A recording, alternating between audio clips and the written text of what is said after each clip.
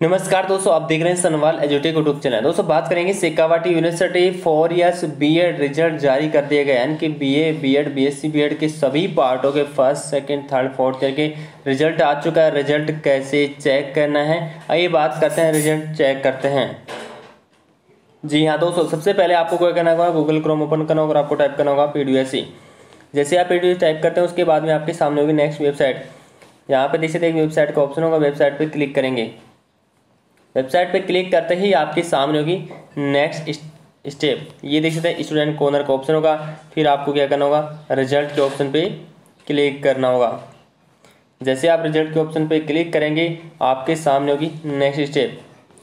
यहाँ पे होगा डाउनलोड रिज़ल्ट 2022-23 तो उस पर क्लिक करना होगा, और इस पर क्लिक करने के बाद में आपको नीचे जाना पड़ेगा यहाँ पे देख सकते हैं दोस्तों B A B Ed B S C B Ed के सभी पार्टों के जो रिज़ल्ट हैं, डिक्लेयर कर दिए गए हैं।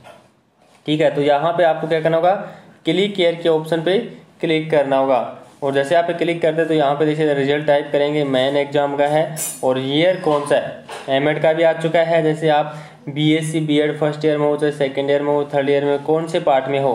जैसे मैं यहाँ पे एक रिज़ल्ट चेक करके देखता हूँ, और यहाँ पे आपको क्या करना होगा रो नंबर्स लगाने होंगे। जैसे मैं यहाँ पे रो नंबर्स लगा रहा हूँ थ्री टू फाइव टू, ठीक है? अब क्या करना होगा? आपको सौ रिज़ल्ट पे क्लिक करना होगा। और यहाँ पे क्लिक करते आपके सामने ये रिज़ल्ट है, देखने के लिए मिल जाएगा। ये इसके मार्क्स भी आ चुके हैं। अब यहाँ पे देख सकते हैं, चार सौ इक्यानवे इसके लिखा रहा है। यानी कि चार सौ इक्यानवे बटा आठ सौ पचास मल्टीप्लाई सौ। यानी कि आपको यहाँ से परसेंटेज निकाल सकते हैं। ठीक है? ई एल जी का मतलब ये पास हो चुका है। इसके एक सब्जेक्ट में क्या है? नंबर यहाँ पे कम है। इसके अंदर में।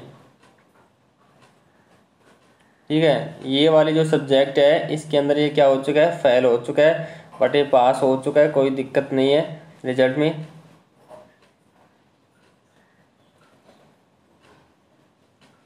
तो इसी प्रकार आप अपने रिज़ल्ट सारे सारे निकाल सकते हैं। किसी को प्रॉब्लम आ रहा है तो अपने रोल नंबर कमेंट में ज़रूर बता सकते हैं।